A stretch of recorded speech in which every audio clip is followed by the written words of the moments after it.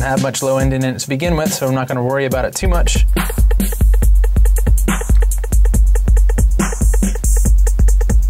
But if you listen to it, it's got a nice bounce to it.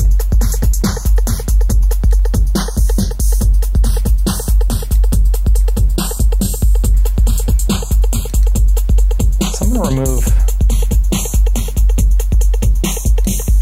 And maybe we'll boost a little bit. Not too much though. Always keep in mind that it's better to cut frequencies than it is to boost frequencies. Is what they call subtractive EQing. Obviously, I want to bring out more of a sound here in sort of like this upper mid range around 5K, it looks like. It's not a bad way to go, but what I'm limiting myself to is plus or minus 6 dB. If I'm having to boost or cut more than that, I may want to go, go back and rethink whether the, uh, the sound should just be overall louder at that point as opposed to trying to boost it with the EQ. Another thing is, as we're going to discover in terms of our kick drum and our bass, I'm going to drop in our bass now.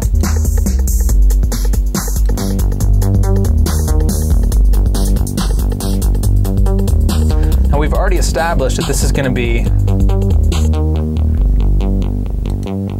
Now this arpeggiator we're listening to, this is not my, that's my bass sound.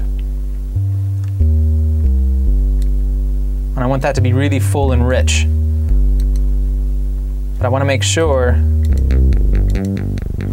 this has a, a chunky bit of uh, low end in it. So what I'm going to do is go through and remove using the same thing. Going to grab my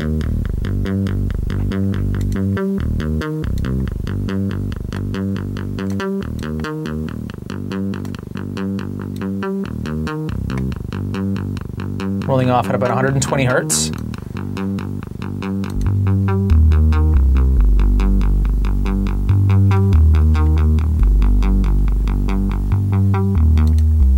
Now I'm going to listen to this bass along with my drum track.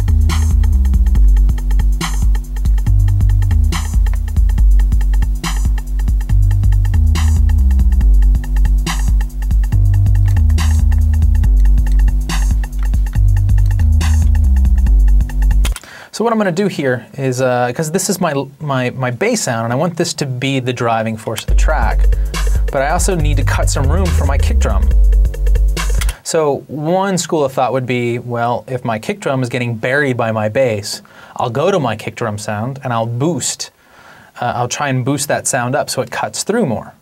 But what you end up doing is kind of doing the one up as I make this sound louder, other ones are going to disappear. You start having this thing called masking, where one sound is starts to take over, and other sounds will sort of disappear underneath it. So a better way, in order to make our kick drum come through, but without losing too much O end, is uh, to cut out a certain amount of frequencies. So I'm going to grab over here. I want to turn this to a parametric EQ.